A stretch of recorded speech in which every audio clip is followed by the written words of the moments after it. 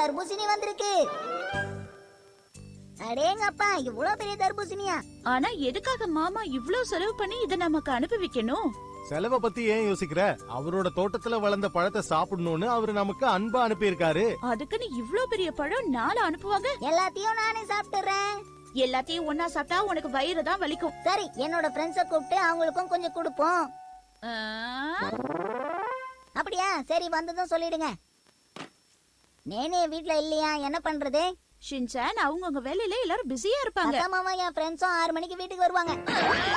என் நண்பர்கள் என் வீட்டுக்கு வந்ததும் நான் அவங்க கூட சந்தோஷமா விளையாடுவேன். என்னது? ஆறு மணிக்கு வர சொல்லிருக்கியா அது கஷ்டமாச்சு ஷின்சான். பரவாயில்ல விடு மிச்சி. ஸ்கூல்ல லீவ் விடுறப்ப தானே அவனால என்ஜாய் பண்ண முடியும். ஆனா ஹீமாவரிய தூக்கிக்கிட்டு இன்னைக்கு ஓகேய பாக்க போறேன்னு சொன்னேன்ல. மறந்துட்டீங்களா? ஓ மறந்தே போயிட்டேன். பசங்கள வீட்ல தனியா விட்டுட்டு எப்படி போறது சொல்லுங்க ஹரி. சரி விடு இவங்கள நான் பாத்துக்கிறேன். அப்பா நீங்க ரொம்ப நல்லவரு. சரி நீங்க சொல்றதுனால விடுறேன். சாப்பிடுறதுக்கு ரைஸ் பவுல் செஞ்சு வச்சுட்டு போறேன். நாங்க வந்துட்டோம். வாங்க வாங்க. இது எல்லாமே உங்களுக்காக தான். நல்லா சாப்பிடுங்க. இது சம்மர் பார்ட்டின்னு தானே சொல்லுவாங்க. பரவாயில்லையே கசாமா. நீ இவ்ளோ தெரிஞ்சு வச்சிருக்க. சரி சரி எல்லாரும் சாப்பிட ஆரம்பிங்க. மசா உன்னால எவ்வளவு முடியுமோ அவ்வளவு குடி. யோசிக்காத. ஏ போது போது போது போது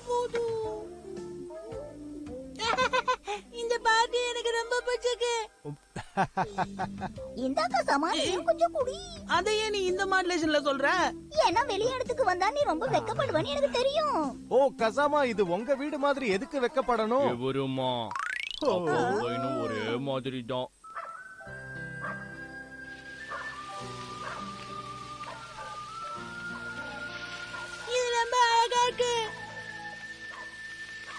ஷின்சான் அத உன்னோட கையில வச்சுதான் விளையாடு அவ்வளவுதான் இதுதான் கடைசி இந்தாங்க வாங்கிக்கங்க சரி வாங்க இத யாரு ரொம்ப நேரம் அணையாம வச்சுக்கிறாங்க அப்படிங்கிற ஒரு போட்டி வச்சுக்கலாம். எல்லாரும் தயாரா இருக்கீங்களா ஆரம்பிக்கலாமா ஸ்டார்ட்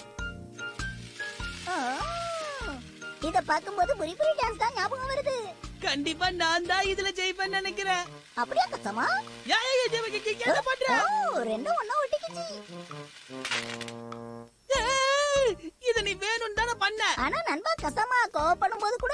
அழகா இருக்க தெரியுமா? பேச்ச மாத்தாத ஷின்சான் ஏய் இந்த பாருங்க எப்படி எரியுதுன்னு. பிரமாதமா இருக்கு. உண்மையான ஃபிளையர் ஃபிளவர் இப்படிதான் இருக்கும். சும்மா உட்கார்ந்து வேடிக்கை பார்க்காம நீங்களும் வந்து கொஞ்சம் விளையாடலாம்ல? வாய மூடு. அதுதா. ஓகே வாங்க நாம உள்ள போகலாம். இதோ வந்துட்டோம். வந்துட்டோம். மன்னிச்சிருங்க ரொம்ப லேட் ஆயிடுச்சு. இது எங்க தாத்தா தோட்டத்துல வளர்ந்த தர்பூசணி பழம். சரி எல்லாரும் சாப்பிடுங்க. வேக வேகமா சாப்பிடுறோம். என்னாலயும் அப்படி சாப்பிட முடியும். என்னாலயும் முடியும்.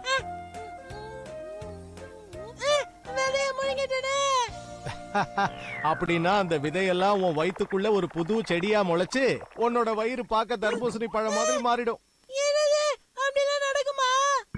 அதான் சாப்பிட்டியே. இதுக்கு மேல என்ன பண்ண முடியும்? அது வளரும் போது உனக்கே தெரியும் பாரு. சும்மா விளையாடுறாரு மசாவ் இப்படிதான் சின்ன வயசுல எங்க அப்பா என்னையே ஏமாத்திக்கிட்டு இருந்தாரு.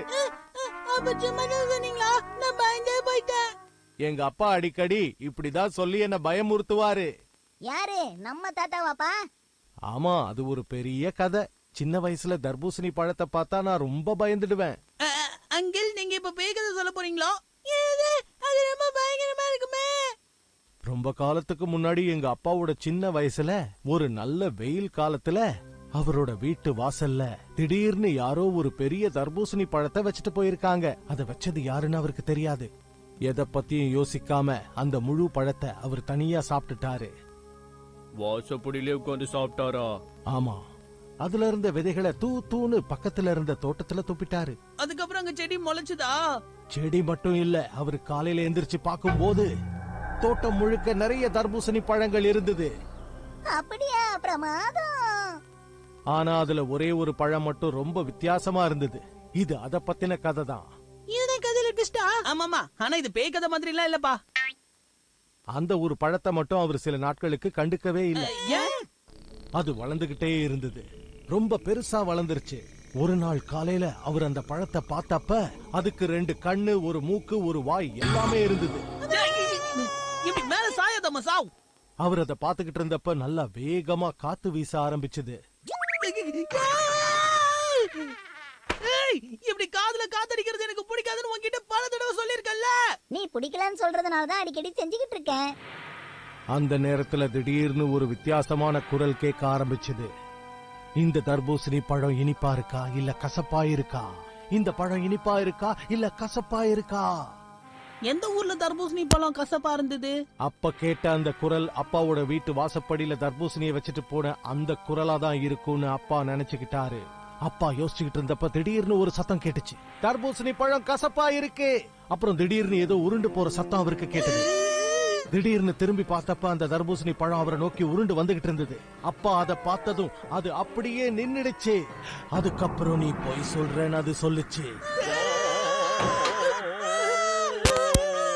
கரண்ட் போயிடுச்சு.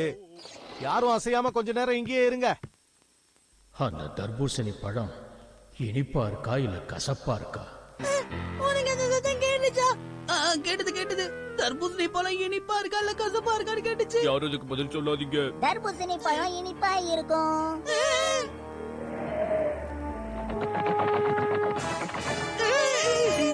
யாரோ என் பின்னாடி நிக்கிற மாதிரியே இருக்குப்பா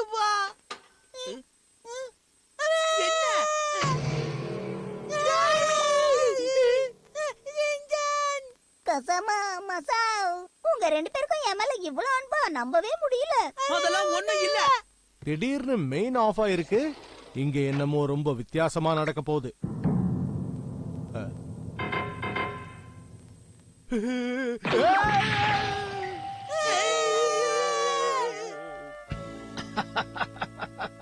வீட்டுக்கு வரதுக்கு முன்னாடி ஒரு வார்த்தை சொல்லிட்டு வாங்கன்னு உங்ககிட்ட எத்தனை தடவை சொல்றதுப்பா?